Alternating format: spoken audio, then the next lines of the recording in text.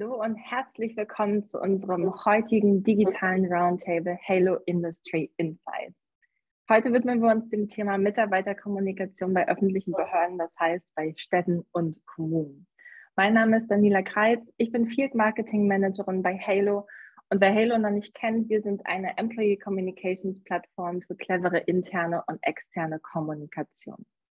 Ja, und wie ihr schon richtig sehen könnt, bin ich natürlich nicht alleine hier. Ich habe mir für die heutige Session drei Expertinnen eingeladen, die ich euch kurz einmal vorstellen möchte. Mit dabei ist Matthias Frei. Er arbeitet bei der Stadt Zell in der Stabstellenposition für Digitalisierung. Daneben haben wir Jens Rainer Jenig, er ist Gründer und Gesellschaft, Geschäftsführer bei der Kommunikationsagentur MC Quadrat und zudem langjähriges Vorstandsmitglied der Initiative D21, Deutschlands führendem Netzwerk für digitale Gesellschaft. Und zu guter Letzt, meine liebe Kollegin Lea Döbler ist hier bei Halo Account Executive. Hallo ihr drei, schön, dass ihr heute meine Gäste seid. Hallo. Hi. Hallo. Schön, dass wir da sein dürfen.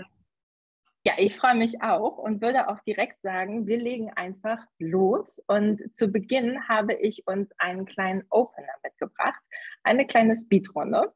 Geht eigentlich ganz einfach. Ich stelle euch eine kleine Frage und bekomme von jedem von euch eine kurze, knackige Antwort. Und die Frage lautet, was ist die eine Sache, die Städte und Kommunen ermutigen kann, in moderne interne Kommunikation zu investieren? Jens Reiner, ganz spontan. Ermutigen, glaube ich, kann, äh, können sich Städte lassen davon, dass es zunehmend den Wunsch zukünftiger Mitarbeitenden geben wird, ähm, eine gute interne Kommunikation haben zu müssen, um als Arbeitgeber auch attraktiv zu sein. Matthias, was wäre deine Antwort?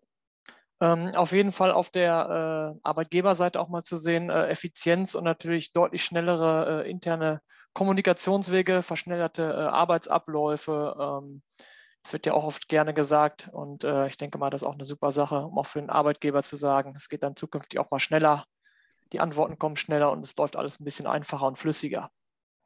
Stimme ich zu. Lea, du hast das letzte Wort.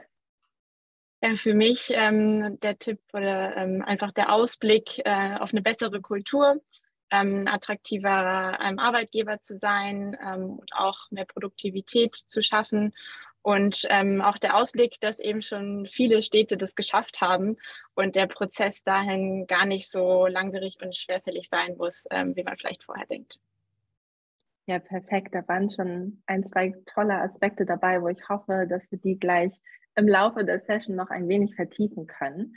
Ich habe für uns vier Thesen vorbereitet, die wir ein bisschen mehr besprechen werden, um in das Thema interne Kommunikation bei Städten und Kommunen tiefer einzusteigen. Und wir starten auch direkt mit der ersten These. Stadtverwaltungen sind steif, eingestaubt und nicht bereit für moderne Kommunikationslösungen. Ja, ich weiß, eine sehr steil bzw. spitz formulierte These stellt sich natürlich an der Stelle die Frage, ob es sich dabei eher um ein Vorurteil handelt, wie vielleicht Stadtverwaltungen von außen wahrgenommen werden, oder ob da auch ein Fünkchen Wahrheit hintersteckt.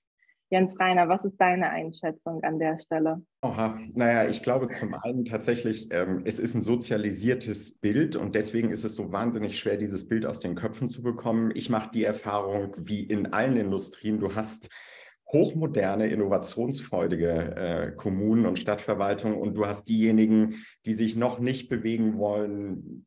So, also es ist wie immer differenziert, es gilt nicht so pauschal. Ähm, es ist eine große Herausforderung, dieses Bild aus den Köpfen zu bekommen und auch ein anderes Selbstverständnis zu entwickeln. Mhm. Lea, siehst du es ähnlich?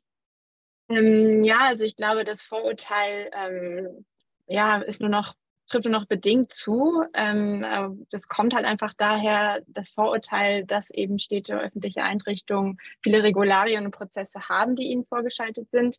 Aber es ist immer noch ein Unternehmen und da sind immer noch ähm, Menschen, die da arbeiten und die haben auch den Wunsch, äh, modern zu sein. Und ich denke, dieser Wunsch ist in, in allen äh, öffentlichen Einrichtungen auch vorhanden.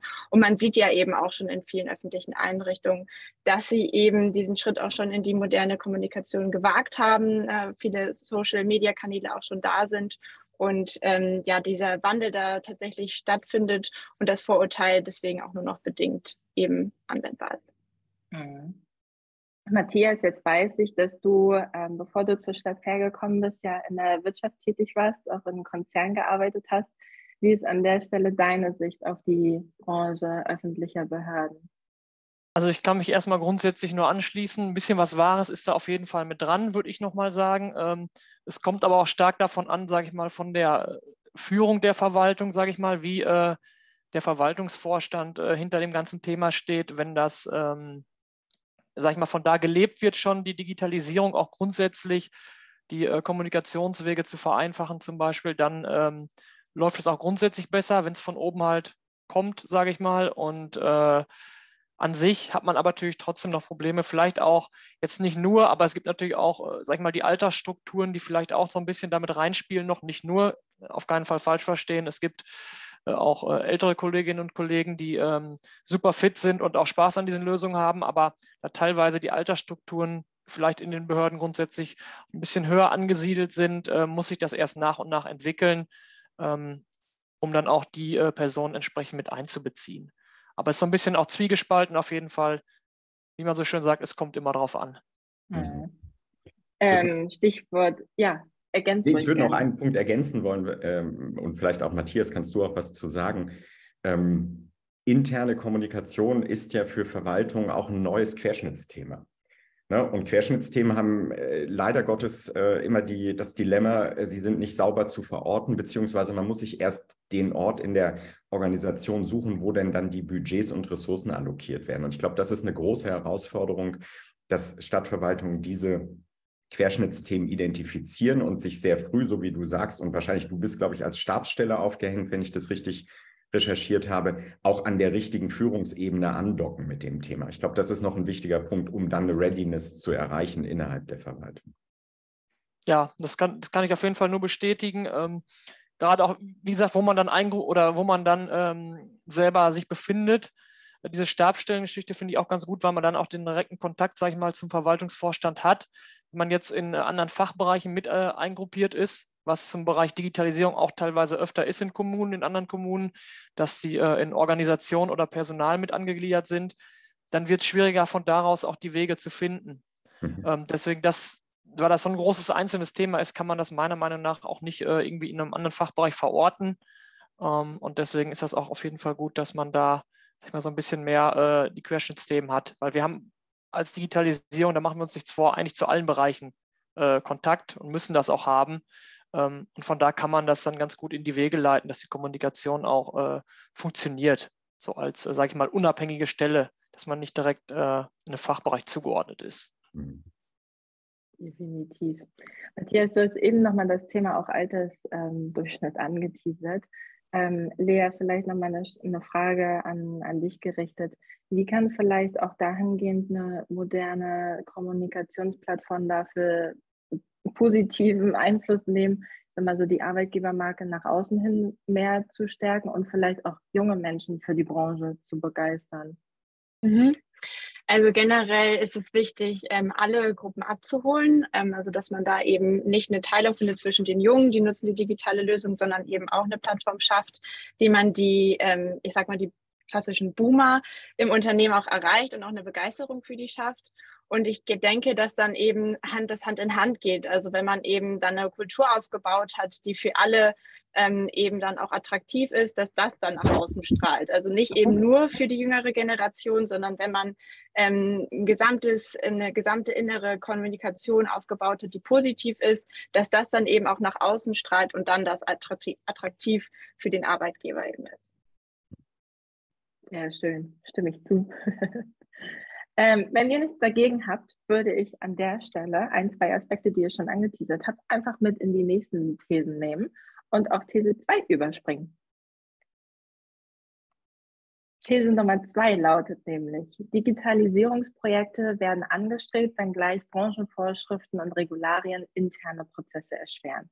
Ihr habt es gerade schon angeteasert, der Wunsch ist oftmals da, steht aber ähm, immer mal wieder in Abhängigkeiten mit bestimmten Regularien, sei es jetzt beispielsweise auch Themen Ausschreibungen, Budget oder ähnlichem. Ähm, Jens Reiner, wie sehr erschweren solche Themen ähm, ja, interne Prozesse?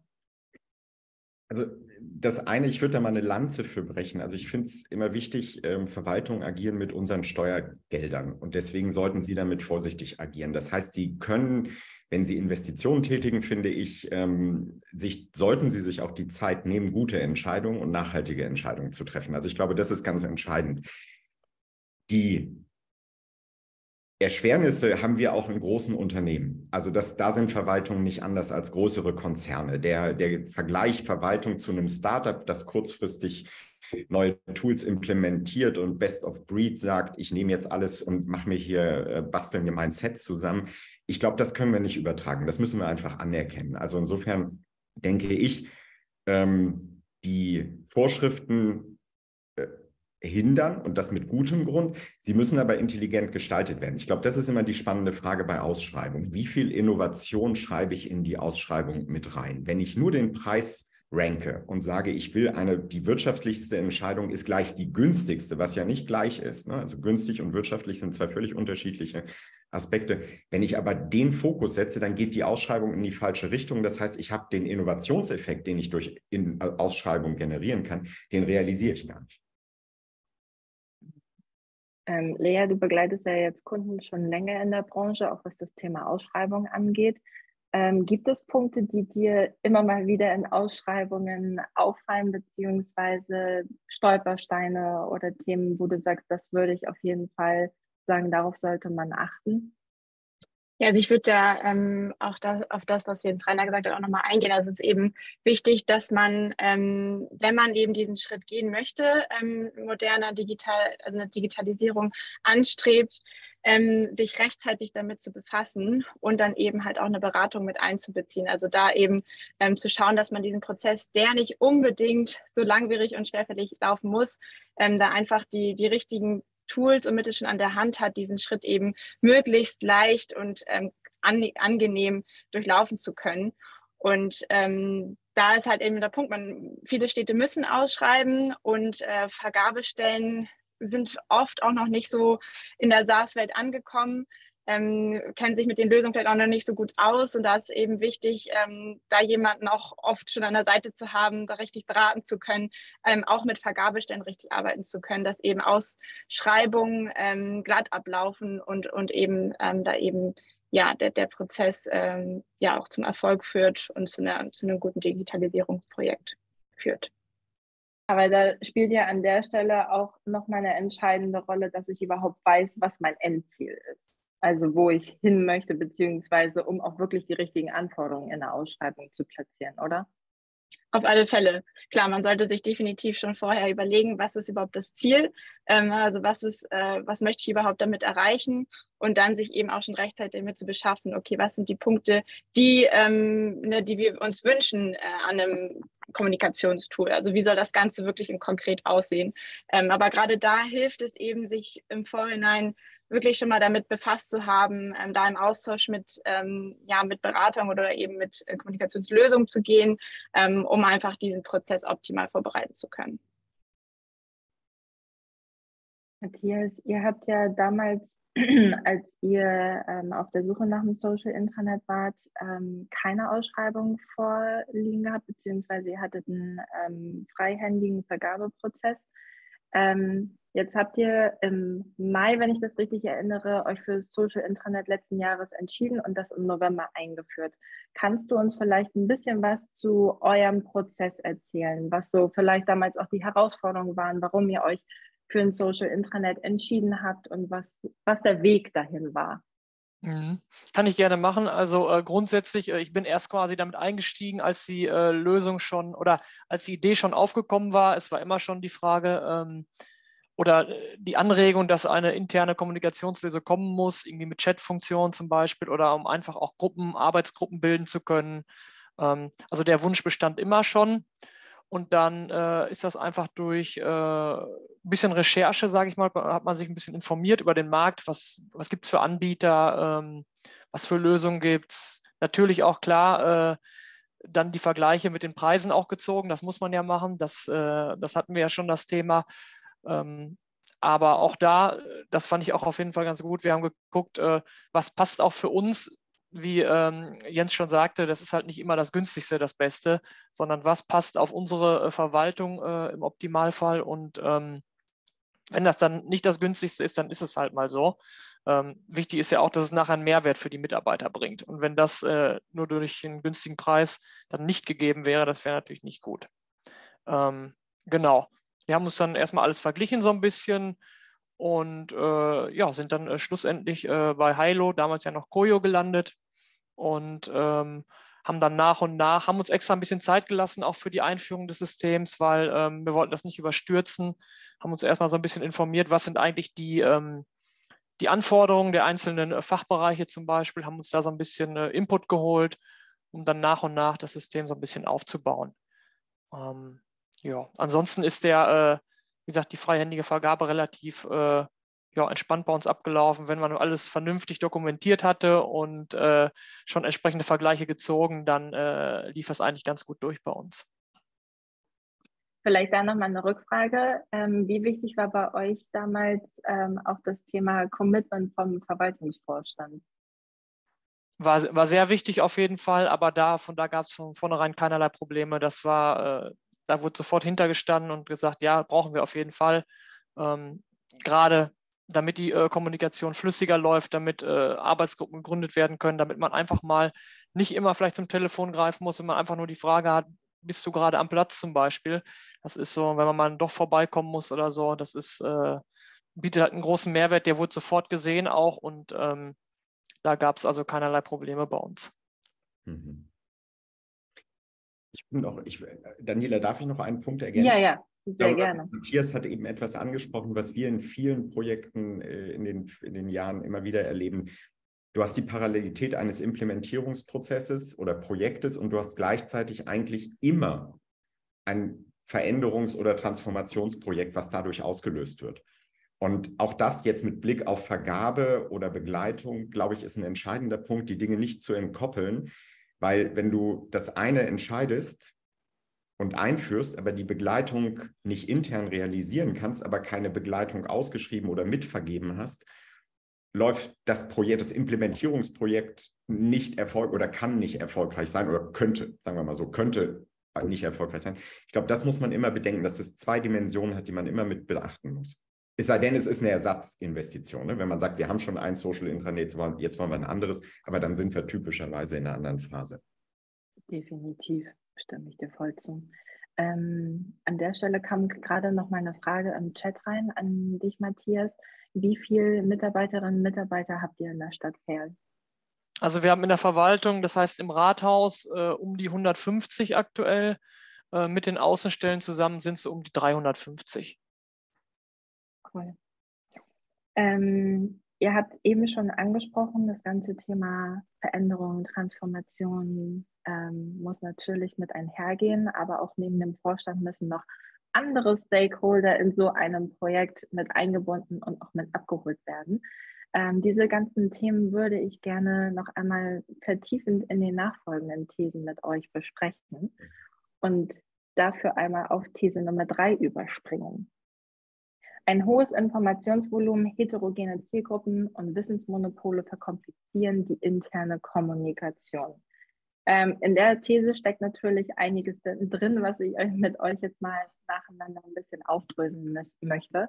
Generell ist es ja so, dass in Städten und Kommunen immer ein sehr hohes Fachwissen ähm, bedarf, beziehungsweise auch unterschiedliche Experten, Matthias hat es gerade schon angesprochen, die für Thema XY zuständig sind und ähm, auch das Thema heterogene Zielgruppen. Wir haben verschiedene Behörden und Abteilungen, sei es jetzt Kita, Standesamt, Ordnungsamt, ähm, Straßenbau oder, oder, oder, die dann natürlich auch ein, ähm, ein Teil der Kommunikation und auch der Zusammenarbeit sind. Ähm, Jens Reiner, inwiefern erschweren solche Organisationsstrukturen ähm, vielleicht die interne Kommunikation Also sie erschweren es dann und das kann durchaus äh, wieder sozialisierte Prägung der Organisation sein, wenn sich die einzelnen Verwaltungsbereiche als Silo verstehen. Und wenn die Kommunikation in diesen Silos quasi rauf, rüber, runter und nicht äh, quer geht, das ist dann eine Behinderung. Ähm, ich glaube, was ich wahrnehme, ist, dass viele Verwaltungen darüber nachdenken, wie können wir andere Organisationsprinzipien bei aller Fachlichkeit, die wir haben müssen, aufbauen, wie kommen wir weg von ähm, Arbeitsbeschreibungen, die starr sind, hin zu eher Rollenverständnissen, wie schaffen wir auch Expertenwissen, was in einem Bereich durchaus auch in einem anderen Bereich nutzbar ist, auch zu transferieren, also Durchlässigkeit, Beweglichkeit. Flexibilisierung sind die zentralen Themen. Aber wenn es diese Silo-Struktur hat, und dann sind wir wieder bei dem Veränderungsthema, ähm, dann müssen wir darüber nachdenken, wie machen wir die Silos durchlässiger. Ähm, mhm. Dann sind wir wieder bei dem, was Lea angesprochen hat, das ist, und Matthias hat es auch gesagt, dann, das ist eine Führungsthematik, das ist eine Führungskulturthematik. Ähm, also insofern auch etwas, was wir aus großen Unternehmen ganz klassisch schon seit vielen Jahren kennen. Und es ist ja immer so, die Verwaltung läuft oftmals bei diesen Veränderungsprozessen den großen Veränderungen in Organisationen hinterher, beobachtet sie und adaptiert sie dann mit etwas Zeitversatz. Mhm. Ähm, Lea, jetzt haben wir ja oftmals ähm, das Thema E-Mail-Kommunikation, E-Mail-Verteiler, schwarzes Brett, was natürlich ja. ähm, sehr einseitig ist. Ähm, wie kann an der Stelle eine zentrale Kommunikationsplattform auch helfen, Wissen von den einzelnen Experten ähm, für jeden auffindbar zu machen und auch zielgruppenspezifisch Informationen auszusteuern? Ja, also das schließt auch ähm, an das Thema Flexibilität an, dass man eben schaut, okay, wir haben diese heterogenen Gruppen ähm, und ne, da ist es einfach auch so, dass eine fehlende Kommunikation dadurch ja auch Wissensmonopole entstehen, ähm, weil die eben isoliert dann in ihren einzelnen Fachbereichen arbeiten. Und ähm, da helfen natürlich flexible Tools, also dass man eben schaut, okay, was braucht denn meine Zielgruppe an Informationen und wie erreicht sie sie am besten? Und da eben halt zu schauen, okay, was für eine Kommunikationslösung passt sich am besten unseren Strukturen an. Also, ne, dass man eben schaut, okay, wir, ne, wir wollen ja jetzt nicht irgendwie so ein, so ein starres Produkt irgendwie einführen, sondern wir müssen die Mitarbeitenden da ab, abholen, wo sie im Alltag arbeiten. Und das funktioniert am besten eben so zu schauen, also wie läuft die Alltagsstruktur ab, wie läuft der Arbeitsalltag ähm, und dann eben alle Mitarbeiter auf die Plattform zu holen, dass sie eben da auch ähm, diese Wissensmonopole Monopole aufbrechen können, um transparent informieren zu können. Also da eben klassisch über eine mitarbeitende App für diejenigen, die viel unterwegs sind, dass man da eine Push-Benachrichtigung bekommt ähm, und eben auch ähm, auf dieses Wissensvolumen, was in, oft in Städten vorhanden ist, schnell auch mit einer App zugreifen können. Also dass man da ähm, vielleicht jemanden, einen Expertenfinder hat, wo man dann ganz schnell den kontaktieren kann, ähm, um da eben mal sich Wissen abzuholen oder ähm, in einen gewissen Bereich reinzugehen, zu gucken, hey, ähm, wie läuft das da eigentlich ab? Ähm, was ist da irgendwie vielleicht Neues an Informationen dazugekommen? Ähm, oder wenn es Änderungen gibt, eben schnell über die Suchfunktion na, da in Informationen zu kommen. Das sind einfach so alles so Punkte, äh, die flexibel sein müssen und die einfach die Mitarbeitenden da erreichen müssen, wie sie auch im Alltag irgendwie arbeiten. Definitiv. Ähm, ich würde an der Stelle vielleicht noch mal ganz kurz auf das Thema ähm, zentrale Kommunikationsabteilung eingehen, weil oftmals gibt es auch das Problem, dass es da keine ähm, großartigen Ressourcen gibt, dann aber dieses, diese große Frage entsteht, oh Gott, liegt jetzt das ganze Thema Wissensmanagement, Information, Redaktion, alles auf meinen ähm, Schultern. Matthias, wie geht ihr damit ähm, bei euch um? Habt ihr eine zentrale ich sag mal so, Redaktion oder arbeitet ihr an der Stelle dezentral? Wir haben eine zentrale äh, Organisation dabei, wir haben eine Pressestelle. Ähm, es ist auch vielleicht, also grundsätzlich ist es so bei uns, äh, wir haben das Projekt jetzt betreut, die ganze Einführung und sowas, aber wir wollen schon dahin, ähm, dass, jetzt muss man am Anfang natürlich dranbleiben, das ist klar. Ich habe ja, ich weiß nicht, ob ich schon erwähnt hatte, aber wir sind ja auch erst seit November dabei. Und da muss man natürlich so ein bisschen mit äh, dahinter sitzen, dass es auch weiter äh, die Benutzung findet, dass äh, immer mehr und mehr sich die Mehrwerte auch von selber ergeben für die äh, Mitarbeiterinnen und Mitarbeiter. Und ähm, grundsätzlich ist es aber trotzdem so, dass der Zeitaufwand natürlich am Anfang sehr hoch ist und wir deswegen auch dahin gehen wollen, dass es irgendwann sich sozusagen von selber so ein bisschen entwickelt, das ganze System. Und ich finde, da muss es auch hingehen, dass die äh, einzelnen Abteilungen ähm, auch selber ihre Wissensbasis äh, aufbauen, äh, sei es in einem zentralen Wiki oder sei es äh, fachspezifisch auf deren Seiten, ähm, weil grundsätzlich da können wir ja auch nicht überall die äh, Betreuung gewährleisten für äh, eine komplette Kommune. Definitiv macht ja an der Stelle auch ähm, eine, eine kleine Sache, dann darfst du jetzt, Rainer, macht ja an der Stelle auch nochmal mehr sichtbar zu sehen, okay, wer ist eigentlich Experte für Thema XY? Ich habe damit direkt die Person, die dann den Wiki-Artikel oder die Seite oder ähnliches aufgebaut hat, als meine ähm, Ansprechperson, als eine zentrale Redaktion, die vielleicht ähm, ja nur Vermittler auf der Ebene ist. Jens mhm. Rainer. Du wolltest noch was ergänzen. Es sind so ein paar Punkte, also äh, die ich, die ich ergänzen wollte. Das eine ist also, Lea hat das erwähnt, so Begehung im Sinne von mal gucken, was ist denn jetzt da? Damit ist auch eine Frage verbunden und die ist oft unbequem. Was hören wir denn auf zu tun? Also was steht auf der Stop-Doing-Liste? Wir hatten im letzten Jahr haben wir Stadt, ein Stadtwerk begleitet, ähm, sind durch die diversen Lokationen gegangen, haben uns das angeschaut und haben tatsächlich gesagt, dieses schwarze Brett wird natürlich abgebaut. Es, also die Parallelisierung darf es dann auch irgendwann nicht mehr geben. Das Zweite ist, ähm, finde ich, Matthias, ist ein wichtiger Punkt. Ähm, oftmals ist ja da, ist ja die, die, die Aufhängung auch ähm, sofort imagebildend. Und wenn typischerweise so eine, ein Social Intranet im Digitalisierungs, in der Digitalisierungsstabsstelle alleine aufgehängt ist, dann wird es auch schnell als Tool interpretiert und nicht darüber hinaus. Deswegen so wichtig diesen Punkt ist auch durchaus eher in der Kommunikation zu verankern, was eine Riesenherausforderung ist, weil die Kommunikation typischerweise in der Verwaltung nicht so sehr eine interne Kommunikation ist, sondern eben die nach außen gerichtet und typischerweise auch knapp besetzt. Da gibt es dann auch genug zu tun und der Workload ist eh schon bei 100 Prozent. Aber das muss man, das sind wieder diese organisationalen Konsequenzen. Also was sind die Folgekonsequenzen einer Entscheidung? Habe ich dann im Nachgang die Ressourcen? Hole ich sie mir temporär von außen in so einer Aufbauphase? Habe ich eine Content- ähm, also eine Content-Entwicklung, die gegebenenfalls auch von außen mit angetrieben wird. Und natürlich, ähm, ich kann mich daran erinnern, ich habe tatsächlich im letzten Jahr bei den Führungskräften der Stadtwerke dann auch einen Workshop gemacht. Äh, den habe ich mir mit einem Kollegen, Matthias, vergleichbar wahrscheinlich mit deiner Stelle, geteilt. Er hat primär das Tool und die Funktionalität ähm, äh, vorgestellt. Ähm, und ich habe nur über das Thema Rolle von Führungskräften in der internen Kommunikation gesprochen ähm, eben deutlich zu machen, Kommunikation ist ein Führungsinstrument ähm, und ihr müsst es vorleben. Und die Frage der Geschäftsführung war damals auch, ähm, muss ich das auch tun? Und die böse Antwort war ja, obwohl sie so viel zu tun haben. Es geht nicht anders. Also, so, ich glaube, das ist, das muss man immer, muss man da ganz stark sehen.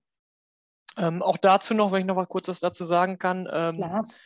Zu unserem Einführungsprozess. Wir haben auch, gerade weil wir erreichen wollen, dass auch später, wie gesagt, so ein bisschen auch die Fachbereiche selber äh, arbeiten und auch selber den Mehrwert finden. Äh, wir haben grundsätzlich so eine interne Projektgruppe jetzt nicht nur zu dem Thema Social Internet gemacht, sondern äh, auch für diverse Projekte, wo wir die immer so ein bisschen auf den neuesten Stand mitbringen und äh, vielleicht auch mal einzelne kleine Teilprojekte von dieser Gruppe mit übernommen werden. Da sind Mitglieder aus jedem Fachbereich mit drin.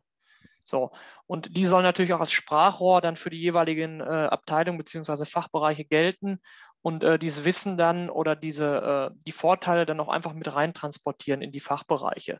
Weil das schafft man ja persönlich selber gar nicht. Man ist nicht mit jedem Fachbereich jeden Tag in Kontakt und ähm, hat auch einfach gar nicht äh, zu jedem den entsprechenden Kontakt und die wissen halt viel besser, wer vielleicht äh, gute Ideen hat oder wer vielleicht auch ein bisschen mehr Unterstützungsaufwand bei den Thematiken braucht.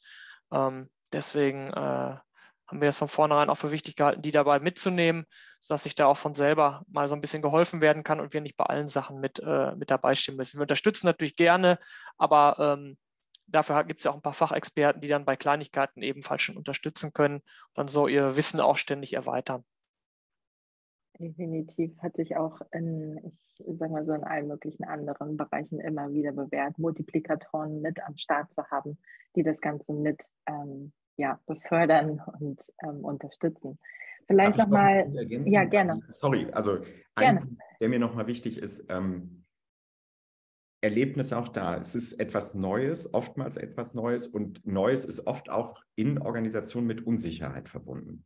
Und das muss man thematisieren. Man muss das ansprechen. Man muss ansprechen, dass sich Leute am Anfang unsicher fühlen. Fühlen. Und vor allen Dingen Führungskräfte fühlen sich ganz oft unsicher, sprechen aber nicht darüber. Das muss thematisiert werden, um es aus dem Weg zu räumen. Sonst äh, entsteht so eine stillschweigende Blockadehaltung. Und man weiß gar nicht warum. Und das hat oft was damit zu tun, dass man eben sich unwohl fühlt in diesem neuen Environment. Wie mache ich das denn? Ich habe gar nicht die Kompetenz, vielleicht damit umzugehen. Vielleicht schreibe ich auch nicht gerne. Ähm, muss dann erstmal entdecken, wie das mit eher, wie ich mit anderen Instrumenten arbeite. Also das Thema muss angesprochen werden. Ne? Das ist wichtig als Erfolgsfaktor. Hast du vielleicht da nochmal eine Folgefrage, weil du hast mhm. ähm, nämlich einen Punkt, den ich eh hier noch auf meiner kleinen To-Do-Liste hatte, mit abgehakt. Hast du einen Tipp an der Stelle, wie man ähm, Unsicherheit vielleicht nehmen kann? Also ich mache das immer und, und wir im, im, Team, wir sprechen das ganz proaktiv an. Mhm. Zwar bevor es jemand äußert. Man, man kann ja viel antizipieren, was für Unsicherheiten ähm, da sind. Und wenn man die frühzeitig anspricht, in den Prozess der Implementierung aufnimmt, dann nimmt man da schon ganz viel raus. Ähm, ansonsten das, was Matthias gesagt hat, so Lead-User-Konzepte, äh, quasi wechselseitiges Mentoring äh, sind, also da gibt es eine Vielzahl von ähm, Möglichkeiten, was auch zum Teil sehr nette Effekte haben kann. Wir haben bei den Stadtwerken zum Beispiel auch so einen netten Effekt gehabt. Wir haben plötzlich festgestellt, es gibt einen Mitarbeiter in einem Sachbereich, ganz trockenes Thema, der war aber begeisterter Videocutter. Das heißt, der hat die ganzen Videos dann produziert, weil er einfach Lust nice. hatte. Da kam so eine intrinsische Motivation dazu. Ähm, auch sowas ist dann beiläufig passiert dann eben auch. Aber das muss man auch zulassen. Also die Menschen, mhm. wir, wir, kommen ja alle nicht, äh, wir gehen ja nicht zur Arbeit und lassen den Privatmenschen an, an der Eingangstür zurück, sondern den nehmen wir ja mit. Und wenn wir im Privaten vielleicht begeistert schon in der Medienproduktion unterwegs sind, dann sollen wir das doch jetzt einbinden und ähm, darauf auch, auch, auch aufbauen. Das muss man dann identifizieren. Definitiv. Ich würde da tatsächlich gerne noch ein Beispiel ergänzen. Ähm, es wird ja jetzt auch zu dem Thema, was Matthias auch gesagt hat, ähm, auch die Fachbereiche weiter zu befähigen, ihre eigenen Seiten oder Themen ähm, aufzubauen und auch, so wie du es gerade schon gesagt hast, Jens Reiner, nicht jeder wird als Content-Ersteller geboren. Ähm, den, da kann ich an der Stelle nur den Tipp mitgeben, vielleicht einfach aus der zentralen Kommunikationsseite ähm, heraus Templates vorzubereiten oder bestimmte Guidelines oder ähnliches, die den Anfangsschritt erleichtern, dann selber in die Content-Erstellung zu gehen. Ähm, wo dann einfach auch aus, aus anderen ähm, Kundenbeispielen schon positive Geschichten rausgekommen sind, die dann das echt auf einem schönen Level umgesetzt haben und sogar teilweise dann ähm, sehr selbstbewusst auch erweitern. Kann aber, glaube ich, für den Start ähm, dann eine ganz gute Möglichkeit sein. Ist sogar zwingend. You never make a first impression again. Das ist ja. so wichtig. Also Definitiv. Also bin, ich, bin ich bei dir. Und es als Lernprojekt verstehen, ne? dass man auch sagt, nach ein paar Monaten, man guckt, was läuft gut, was läuft nicht gut. Und das, was nicht gut, gut läuft, muss man dann auch ändern. Auch das muss man von Anfang an ankündigen, dass das ein kontinuierlicher Prozess ist, auch der Verbesserung des Lernens, ähm, Dinge auch wieder hinter sich zu lassen. Auch etwas, was Verwaltung nicht unbedingt kulturell in die Wiege gelegt ist. Auch dazu noch mal kurz, äh, bezieht sich auch auf alle anderen Digitalisierungsprojekte, muss ich sagen, dieses, äh, dieser Effekt auch mal sich selber so ein bisschen zu fragen, was, was nimmt man daraus eigentlich mit aus der Einführung dieses Projekts? Ist das alles so gelaufen? Ähm, wie man sich das gedacht hat. Es gibt ja auch schon so einen, sag ich mal, einen Überblick über die Verwaltung. Wie ist so das Interesse? Wie ist so das Verhalten überhaupt auf ähm, neue Projekte? Weil die werden aus unserem Bereich natürlich regelmäßig angestoßen und da kommen auch wahrscheinlich noch größere Projekte als jetzt die Einführung eines Intranets oder eines Social Intranets. Und ähm, da kann man natürlich auch gewaltig viel äh, Wissen raus mitnehmen, auch für uns selber ähm, wie so das Verhalten ist und äh, wo man vielleicht ran muss und äh, wo man noch einfach ein bisschen Unsicherheiten nehmen muss auch. Definitiv. Ihr habt jetzt schon auch äh, ein, zwei Themen wieder angeteasert, was in Richtung Veränderung, ähm, Transformation, ähm, Kulturwandel und so weiter einhergeht. Was ich gerne mit überführen würde auf unsere letzte These, wenn ihr mögt. These Nummer vier lautet nämlich, mehr Transparenz, mehr Teilhabe und bessere interne Kommunikation gehen nur Hand in Hand mit einer Kulturveränderung. Matthias, bei euch, wie siehst du es in der Stadt Fail? Ja, kann man, äh, kann man bestätigen, muss ich sagen. Ähm, viele wollen natürlich auch die Kulturveränderung, das ist klar, um so ein bisschen wegzukommen von dieser, ich sag mal, Unbeweglichkeit der Behörde. Ähm, das kann ich absolut nur äh, so unterstützen, dass man grundsätzlich auch ein anderes, äh, ein anderes Denken bekommen muss, weil auch gerade nochmal zu dem Thema Wissen, ähm, jetzt grundsätzlich ist es ja teilweise auch so, dass nicht vielleicht alle bereit sind, das Wissen auch gerne zu teilen. Das ist einfach mhm. so, weil es bisher halt einfach anders gehabt wurde. Wissen ist ja auch Macht in gewisser Weise. Und ähm, da muss man einfach auch so ein bisschen weg von dem Denken, sondern das Wissen für alle bereitzustellen. Ähm, wenn man auch zum Beispiel Richtung äh, IT-Themen geht oder so Sachen, die User auch einfach selber machen können, wenn sie in, in einem Wiki wunderbar protokolliert sind, dann braucht dafür nicht immer ähm, die IT angerufen werden. Das sind alles so Themen, ähm, was man damit natürlich machen kann. Und äh, aber grundsätzlich ja, Kulturveränderung ist auf jeden Fall notwendig, egal um welche Digitalisierungsprojekte es geht. Äh, es muss in gewisser Weise ein Umdenken stattfinden, was aber auch durchaus äh, schon in der Mache ist, würde ich mal sagen, und auch viele so sehen. Ich meine, es kommt natürlich auch viel Nachwuchs nach, sage ich mal, das ganze Konzept sowieso ein bisschen anderer sehen. Ähm, und wenn diese Kulturveränderung, sage ich mal, auch dann vom Verwaltungsvorstand auch noch vorgelebt wird, mit Offenheit für solche Digitalisierungsprojekte, mit Offenheit äh, auch dafür mal Geld in die Hand zu nehmen, wo auch andere vielleicht sagen würden, ja, äh, wofür gibt man denn da Geld aus so ungefähr, weil gar kein Mehrwert gesehen wird, aber ähm, wo sich im, äh, im, Endeffekt doch ein Mehrwert daraus bilden könnte, das auch einfach mal zu sehen. Ähm, das äh, bringt schon sehr viel und äh, aber klar, eine Kulturveränderung muss einhergehen, aber das wird sie auch zwangsläufig. Ähm, das liegt nicht nur an einem Intranet, das kommt durch diverse andere äh, Projekte, es immer digitaler wird und äh, ja, mhm. dem kann ich eigentlich nur zustimmen.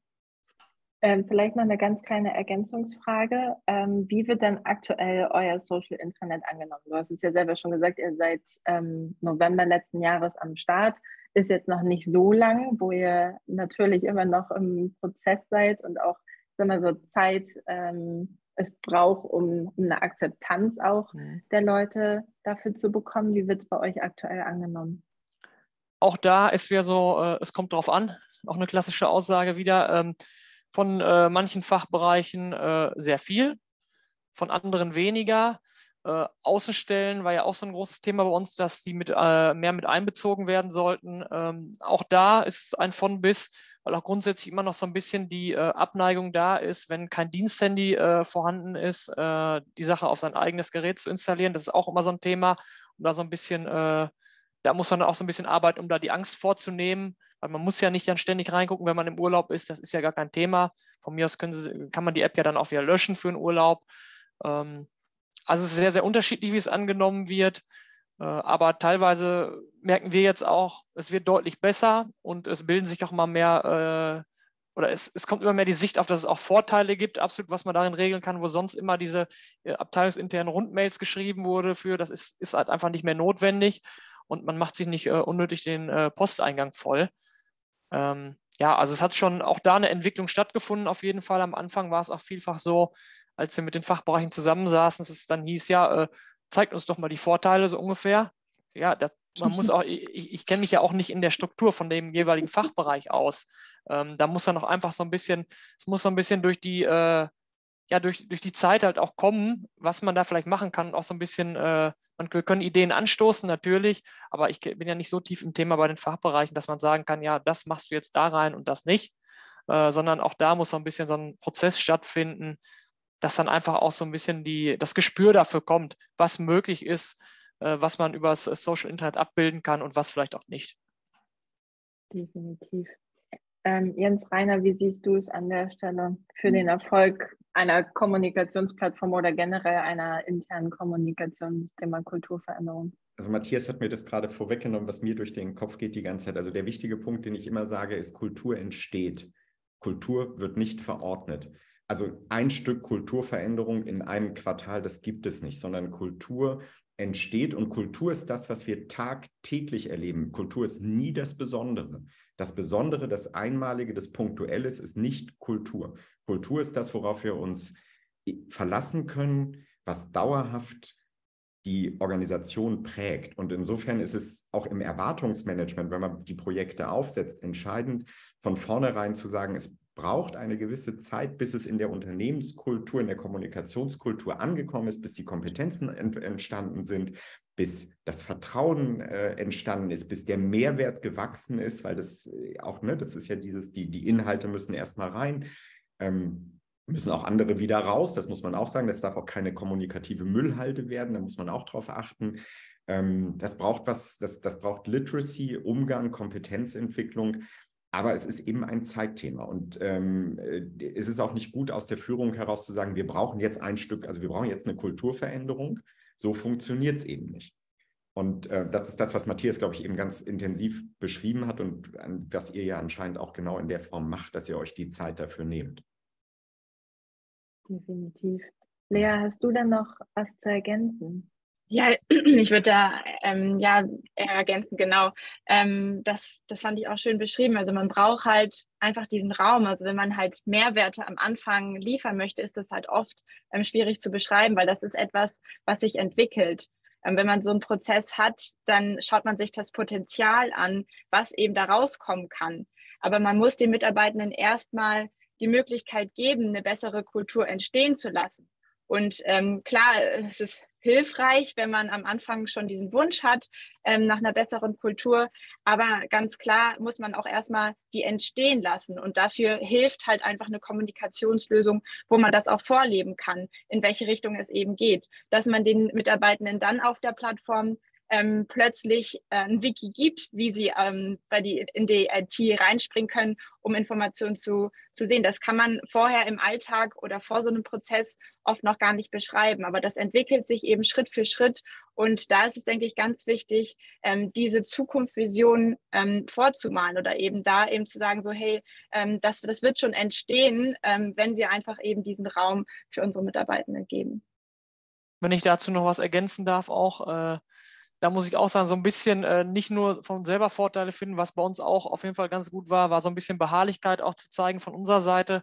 Wenn dann doch wieder die Rundmail kam, die auch eigentlich ähm, im äh, Internet hätte veröffentlicht werden können, dann muss man auch vielleicht am Anfang zwei oder drei oder auch fünfmal äh, zum Telefon greifen oder auch den äh, Chat dann benutzen, äh, um einfach mal zu sagen, das äh, könnte man auch zukünftig oder sollte man übers Intranet machen äh, dann äh, funktioniert das auch deutlich besser. Nicht bei jedem, aber es äh, funktioniert auf jeden Fall. Also ein bisschen Beharrlichkeit, trotz natürlich auch aller Freiwilligkeit grundsätzlich äh, ist da auch manchmal gefragt. Definitiv. An der Stelle kann ich ähm, auch mal ein kleines persönliches Beispiel fallen lassen. Wir nutzen bei uns ja auch unser Social Internet selber als Plattform. Und ähm, als damals ein Kollege bei mir ähm, im Partnerships-Team angefangen hat, habe ich ihn mal ein bisschen ähm, über die Klinge springen lassen und ähm, habe ihm gesagt, ja, ja, die Nachricht kannst du direkt an unseren CEO per E-Mail weiterleiten. Das brauchst du nicht irgendwo reinpacken in den Chat. Ja, und dann hat er direkt einen über den Rüssel gekriegt, warum er das nicht bei uns im Intranet, im Chat einmal reinpostet. Und ähm, wir intern, wir schicken nämlich keine E-Mails. Aber gut, war auch ein Learning, was er seitdem nie wieder gemacht hat, intern E-Mails zu verschicken. Auch eine ganz, ähm, ganz witzige Anekdote an der Stelle. Habt ihr sonst noch irgendwelche Ergänzungen, wo ihr sagt, okay, das haben wir bisher noch nicht besprochen, das muss hier auf jeden Fall noch Erwähnung finden? Gut, Stillschweigen ist für mich ein, ein Nein. Dann ähm, sind wir tatsächlich auch schon ähm, fast am Ende unserer heutigen Session angelangt. Ich würde an der Stelle einmal unsere Zuschauer und Zuschauerinnen bitten, falls ihr noch irgendwelche Fragen habt, die jetzt ähm, doch noch entstanden sind, schreibt die gerne in den Chat. Und während ihr das tut, würde ich gerne meine ExpertInnen hier bitten, noch ein kleines Fazit zu ziehen für uns alle. Und ähm, würde euch bitten, dass mir jeder von euch mal diese Frage beantwortet. Was ist eure, euer ganz persönlicher Tipp für erfolgreiche interne Kommunikation in Städten und Kommunen? Wer mag beginnen? Wer darf anfangen? ja, kann ich gerne machen. Ähm, ja, grundsätzlich, äh, was ich sehr wichtig finde, ähm, oder dass man erstmal sich auch wirklich das Go vom Verwaltungsvorstand beziehungsweise äh, von den obersten Etagen einholt. Ähm, von da muss schon mal so ein bisschen äh, dahinter äh, stehen, auf jeden Fall, dass das Ganze umgesetzt werden soll. Dann sollte man sich auf jeden Fall vorbereiten. Man sollte sich äh, nicht auf Krampf möglichst schnell zusehen, dass man ins, äh, ins System kommt. So frei nach dem Motto, man bezahlt ja schon, äh, müssen jetzt auch rein, sondern man sollte sich Zeit lassen, das alles sehr sauber vorbereiten. Auch persönlich sich schon mal darauf einstellen, dass es ein bisschen Betreuungsaufwand geben wird äh, in den nächsten Monaten auch. Ähm, und dann auch einfach ganz klar von vornherein kommunizieren, dass das Ganze auch äh, ein Projekt ist, was sich entwickeln muss, was wir ja gerade schon hatten, das Thema, ähm, dass man dann nicht erwarten kann, dass jetzt auch innerhalb von fünf Monaten, sechs Monaten oder auch einem Jahr alles super funktioniert und alles super läuft und es von jedem gleichmäßig angenommen wird. Es muss sich einfach äh, mit der Zeit so ein bisschen entwickeln. Und ähm, ja, also das wär, wären so meine Punkte, die ich dazu gerne sagen würde. Vielleicht bevor wir mit dem Fazit von euch anderen beiden weitermachen, ähm, es kam gerade eine Frage im Chat, die ich an dich, Matthias, hier gerne einmal richten wollen würde. Wie habt ihr die Mitarbeitenden abgeholt bei der Einführung? Das passt tatsächlich vielleicht ganz gut zu dem, was du eben auch schon so kurz angedeutet mhm. hast. Also wir haben das, äh, wie gesagt, wir hatten ja erst diese ähm, unsere Projektarbeitsgruppe, sage ich mal, mit äh, Mitgliedern aus äh, jedem Bereich. Äh, die haben wir als allererstes mitgenommen, als das äh, quasi, als die Unterschriften trocken waren, haben wir dann gesagt, was jetzt äh, ungefähr kommen wird. Diese User haben auch angefangen, dann schon als erste User so ein bisschen mit im System rumzustöbern, sage ich mal. Die haben ein bisschen geguckt, was ist alles möglich, wie sieht das aus, haben das dann auch schon an die ihre jeweiligen Fachbereiche so ein bisschen weitergetragen. Da war es allerdings noch nicht offiziell. Aber äh, es ist bei dem einen oder anderen schon mal angekommen, dass da was kommen wird. Und dann haben wir das Ganze über tatsächlich, ich glaube, vier oder fünf Monate oder drei oder vier, ich weiß es nicht genau. Auf jeden Fall haben wir dann tatsächlich Teaser-Videos gemacht, schon ein bisschen was angeteasert, wie die Seite so langsam im Aufbau waren, ähm, wie sich das Layout entwickelt hat und äh, ja, haben das dann nach und nach so angekündigt und äh, haben das Ganze dann im Rahmen unserer äh, Personalversammlung im November vorgestellt äh, sodass dann auch alle äh, quasi anschließend direkt ihre Zugänge hatten und sich dann ins System einloggen konnten. Also das war so unser Weg. Aber schon mal so ein bisschen, ich sag mal, Appetit machen auf das ganze Projekt. Deswegen sind wir da dann noch damals über die Rundmail ähm, mit so ein paar kleinen Teaser-Videos. Nichts Großes, aber einfach mal, um so ein bisschen äh, ja, die Leute mitzunehmen. Was passiert da eigentlich? Was entwickelt sich da im Hintergrund? Perfekt. Ähm, vielleicht als Ergänzung dazu auch noch aus, aus anderen Kunden, auch aus, aus größeren Unternehmen, ähm, gibt es auch immer wieder ähm, die Kombination des Go-Lives von einem Intranet in, in, Kombination mit einem Mitarbeiterfest. Ihr habt es jetzt auf einer Versammlung gemacht, mhm. Ähm, kann man natürlich aber auch in, in, einem Fest oder irgendwas kombinieren. Ähm, bei Rotkäppchen war es tatsächlich so, dass die ähm, Geschäftsführung auf einen roten Buzzer auf der Bühne gedrückt haben und dann das Intranet quasi live war und dann drumherum auf dem Mitarbeiterfest einzelne Stände waren, die nur zum Thema Intranet waren, wo man sich selber einloggen konnte und auch so kleine Workshops machen konnte, um direkt loszulegen. Also da gibt es eine, eine, Vielfalt an Möglichkeiten. Aber so wie Matthias es auch schon gesagt hat, von Anfang an schon im Laufe des Projektes vor dem Go Live Projektmarketing zu machen, die Leute frühzeitig mit abzuholen, was sich da überhaupt entwickelt, ist immer eine gute Methode. So, Fazit, weitermachen. Jens Reiner. Naja, also ich habe eben ergänzend zu dem, was Matthias gesagt hat, würde ich sagen, wenn ich jetzt in der Verwaltung sitze und mal den Horizont oder den Blick nach vorne nehme, was auf die Verwaltung in den kommenden Jahren zukommt, an Prozessen. Also wir haben das OZG, was äh, gerade verlängert worden ist, aber was massive Veränderungen nach sich zieht. Wir wollen eine ganz andere Citizen Experience zukünftig anbieten. Der politische Wunsch ist gegeben, dass die Verwaltungsmodernisierung getrieben ist. Und ich würde sagen, der persönliche Tipp ist, möglichst früh jetzt eine gute interne Kommunikation aufzusetzen, weil sie ein Erfolgsfaktor ist, all diese Veränderungsprozesse, die, und Matthias hat es vorhin gesagt, die viel größer sind, ähm, erfolgreich umzusetzen, weil in all diesen Prozessen brauchen wir die interne Kommunikation als Instrument, als, als Werk, als Kanal. Und ähm, insofern, da würde ich sagen, jetzt beginnen, um die großen, wirklich auch Mammutaufgaben, äh, die da vor den Verwaltungen auf allen föderalen Ebenen liegen, ähm, auch erfolgreich zu bewältigen. Definitiv. Lea, du hast das letzte ja. Wort. Ich würde auch noch ähm, an das, was Matthias äh, gesagt hat, anschließen, ähm, dass man eben in der Vorbereitung darauf achtet, ähm, Mehrwerte für alle Zielgruppen zu schaffen. Ähm, also dass, wenn man eben vor der Einführung steht, überlegt, okay, ähm, wo haben wirklich äh, die einzelnen Abteilungen, einzelnen Bereiche Vorteile dafür, um dann eben so eine digitale Heimat für wirklich äh, das, die gesamte Stadt zu schaffen, dass es nicht nur ähm, so rüberkommt, als wäre es eben für einzelne Bereiche vom Vorteil, sondern ähm, eben da eine Einheit zu schaffen. Ähm, und da eben ne, sowas wie einen gemeinsamen Namen zu finden, dass man da zusammen abstimmen kann, das ist eine schöne Idee.